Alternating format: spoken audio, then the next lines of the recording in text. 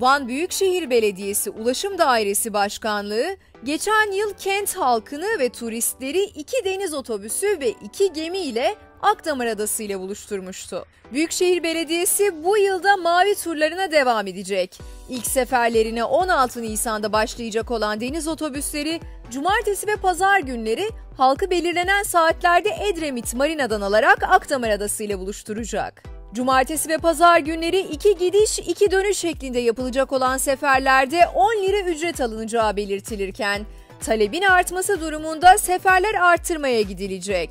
Ucuz ve güvenilir bir şekilde deniz otobüsüyle halkı ve turistleri Akdamar Adası ile buluşturacak olan Büyükşehir Belediyesi Ulaşım Dairesi Başkanlığı, turistik gezilerle hem kent halkını hem de adayı görmek isteyen turistleri eşsiz Van Gölü manzarasıyla da buluşturacak.